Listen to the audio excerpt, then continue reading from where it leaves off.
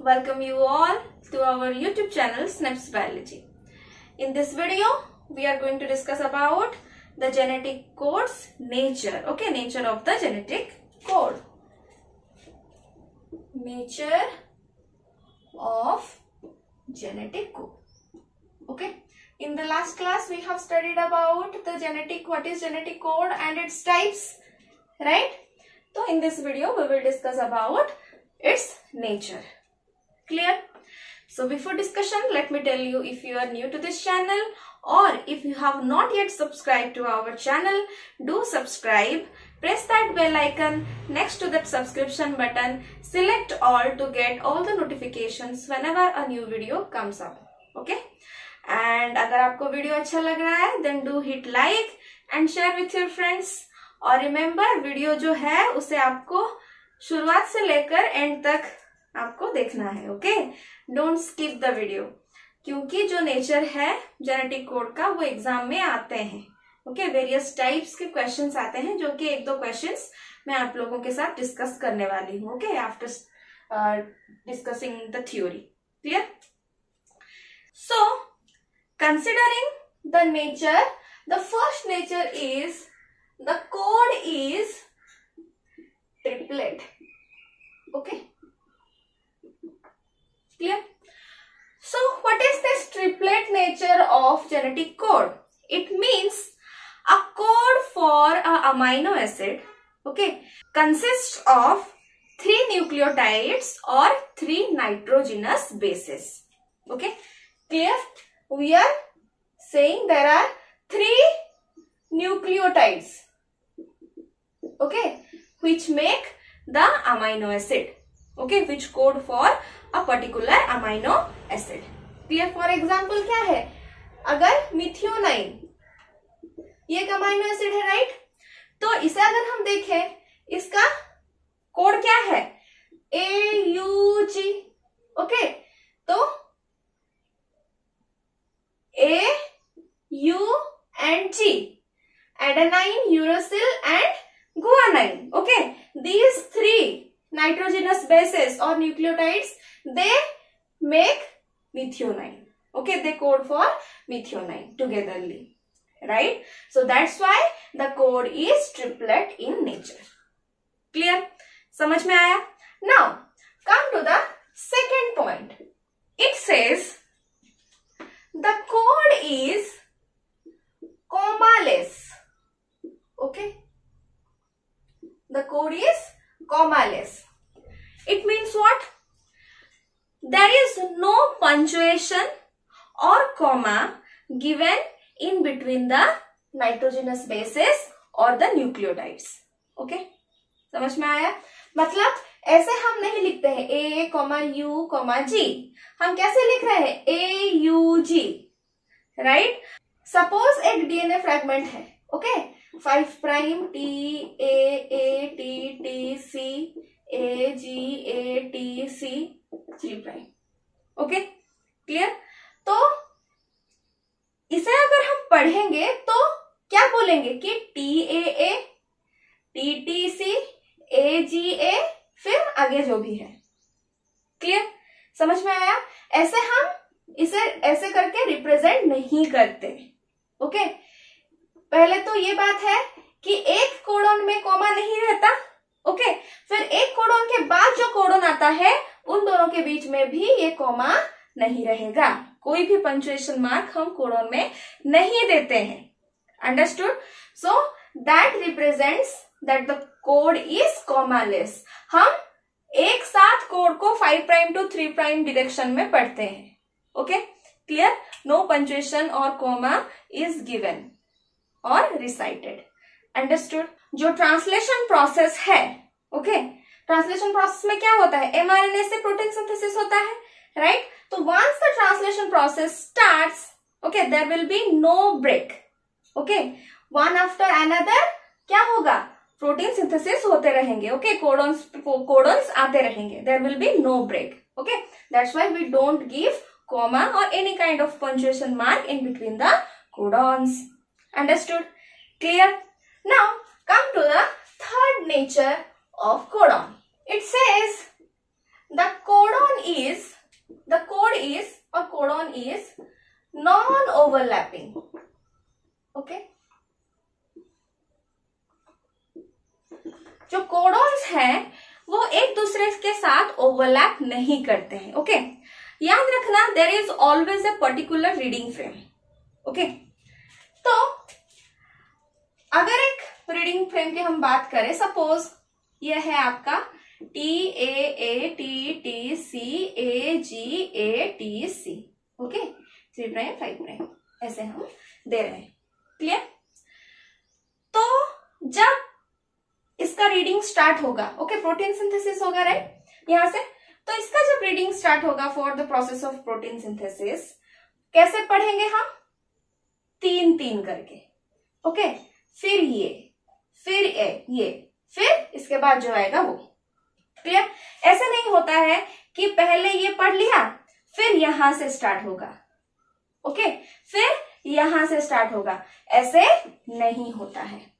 Understood जो course है, वो ओवरलैप नहीं करते हैं। क्लियर तीन खत्म हुआ, फिर नेक्स्ट से शुरू होगा। Understood clear so the codon is non overlapping means a nitrogenous base is constituent of a single codon okay मतलब यहाँ पे जो सपोज़ यहाँ पे ये ए एडेनाइन ओके ये एक नाइट्रोजनस बेस है. Right right? तो ये अगर इसके साथ क्या एक प्रोटीन सिंथेसिस में हेल्प कर रहा है, वो इसके साथ नहीं जाएगा. अंडरस्टूड ये ए टी टी ऐसे नहीं होगा. टी ए हुआ, फिर बाद में टी टी सी क्लियर समझ में आया? तो इस तरह ये होता है। कोर्स ओवरलैप नहीं करते हैं। Understood clear now come to the Fourth point. The codon is unambiguous.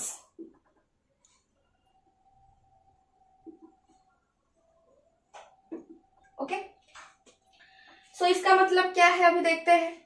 ये बोलता है, एक कोडोन जो है, वो एक पर्टिकुलर अमाइनो एसिड के लिए कोड करता है। A codon code for a particular amino acid for example A U G is a codon right और G U G is a codon A U G codes for methionine only okay G U G codes for valine only clear समझ में आया? तो इस property को बोलते हैं अनएम्बिग्यूअस property of codon मतलब एक पर्टिकुलर कोडोन एक पर्टिकुलर अमाइनो एसिड के लिए कोड करता है। Okay okay? एक अमाइनो एसिड के लिए बहुत सारे कोडोन्स हो सकते हैं। Okay that is another property clear लेकिन एक पर्टिकुलर जो कोडोन है, वो एक पर्टिकुलर अमाइनो एसिड के लिए है। That is the property of unambiguity और नॉन एम्बिग्विटी क्लियर समझ में आया? The codon is unambiguous that means a particular codon codes for a particular amino acid understood now Come to the fifth property. The code is degenerate. Okay.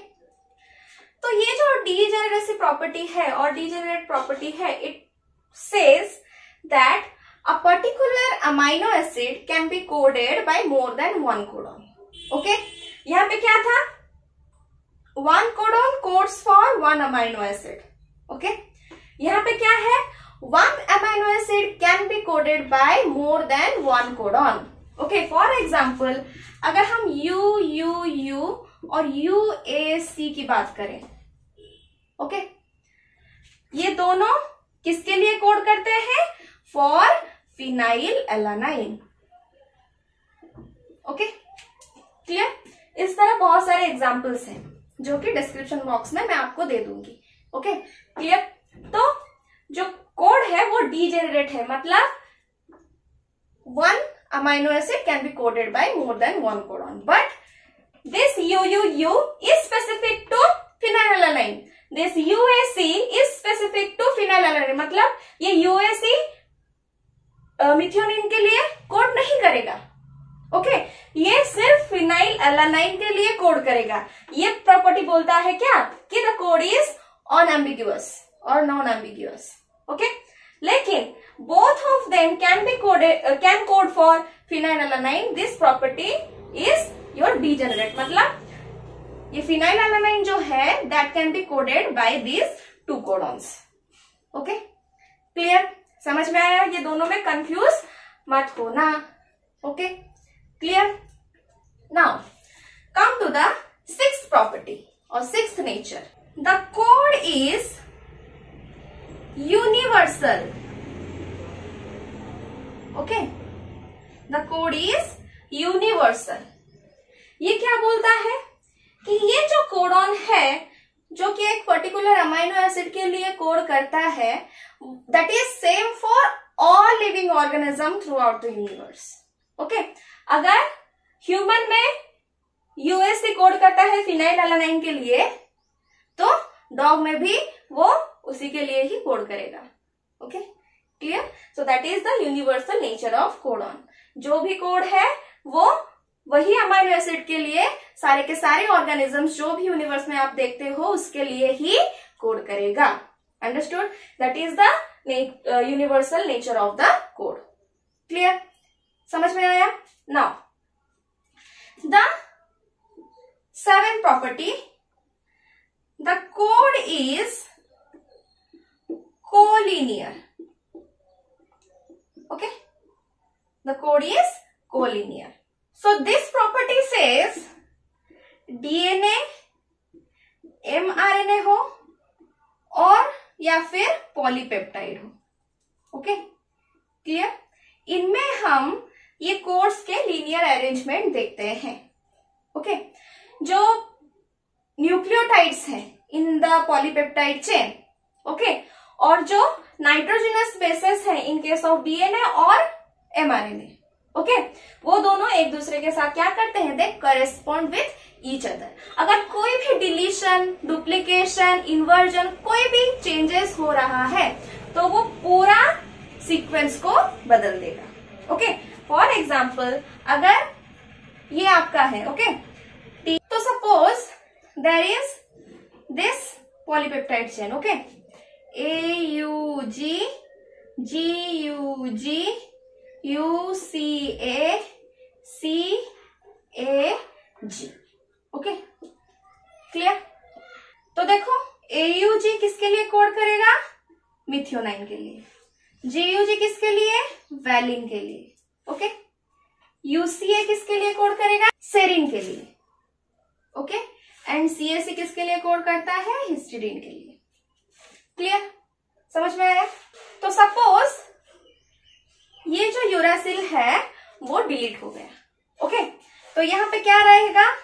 Five prime A U G फिर G U G C A C A C three prime okay clear तो यहाँ पे तो methionine रहेगा। यहाँ पे तो valine रहा। है कि नहीं? लेकिन यहाँ पे क्या आ जाएगा? C A C okay and C S C course for what your history time okay clear समझ में आया?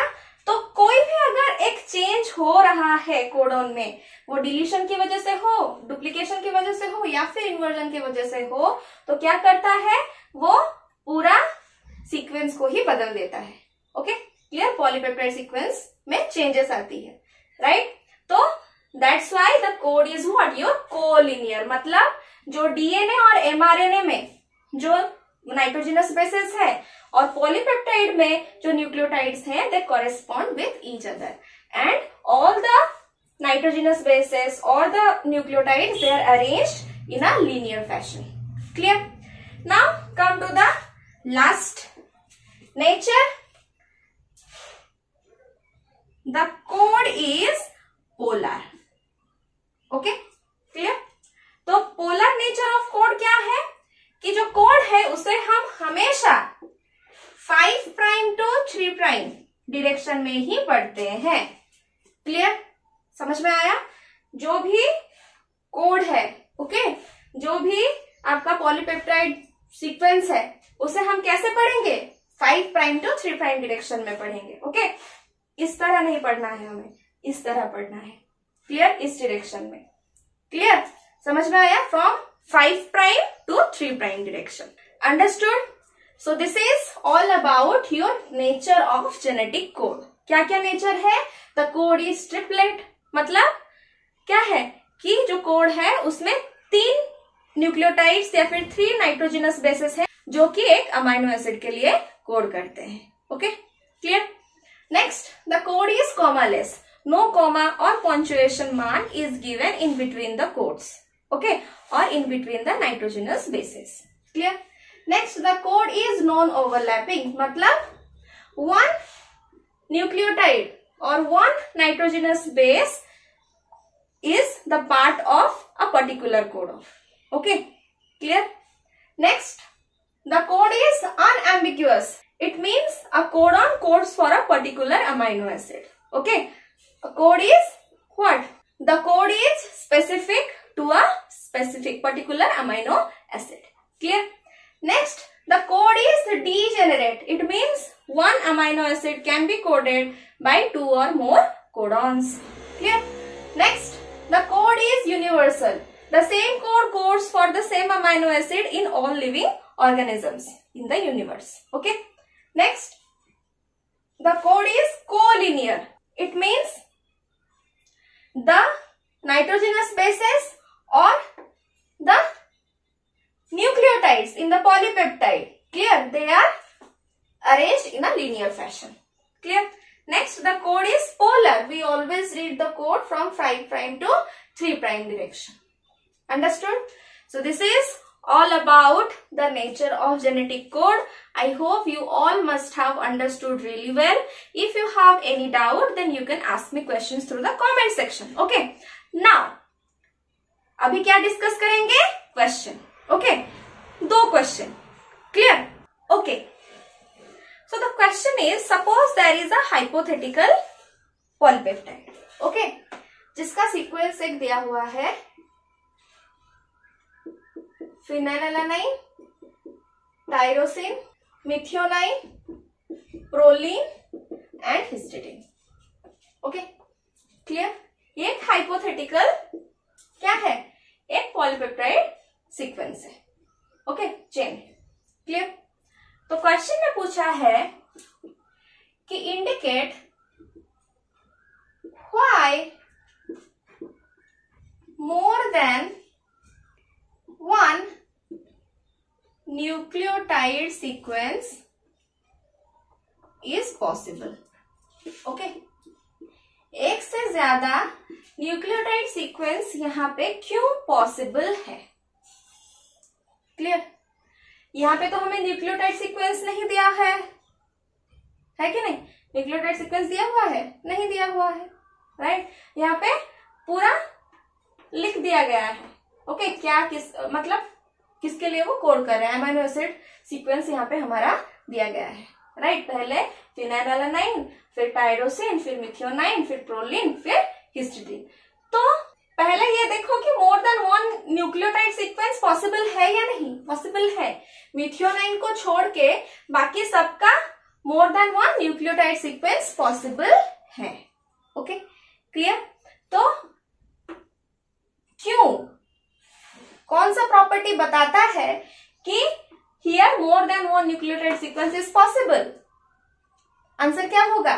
बहुत सारे the code is non linear यहाँ पे ऑप्शन दे सकता है the code is linear okay colinear the code is ambig non ambiguous the code is degenerate okay the code is triplet ऐसे करके सपोज़ फोर आंसर है फोर ऑप्शन है okay तो कौन सा ऑप्शन सही होगा?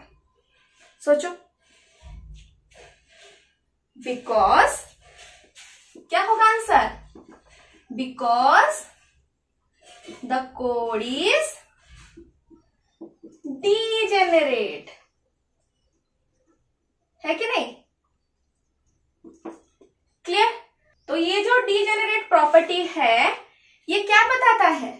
कि one amino acid can be coded by more than one codon है कि नहीं? क्लियर समझ में आया?